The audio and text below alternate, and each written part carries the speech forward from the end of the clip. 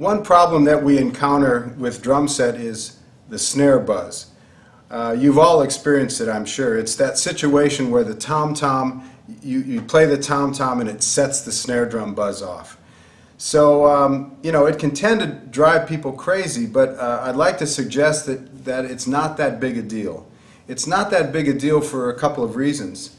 First of all, you probably can't hear it in the audience uh, as well as you can hear it behind the kit. So it's, it's not that much of a concern. There are ways to eliminate that or make it less, but let me just talk about a few things that you, do, you don't want to do.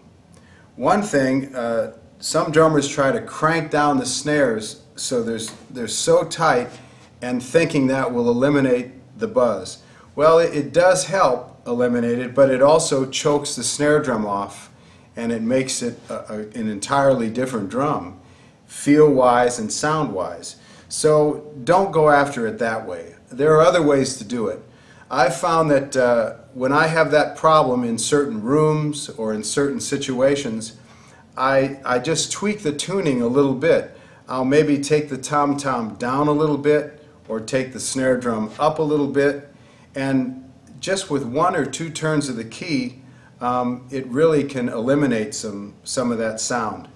Um, I've also experimented with dropping the lug near the snare bed, uh, letting that part of the head come down a little bit, and that solved the problem on occasion. Another thing that you can do is uh, you can put a towel and hang it from your snare drum down here and sometimes just putting that kind of divider there it will eliminate the, those snares from going up into the tom-tom, the snare sound.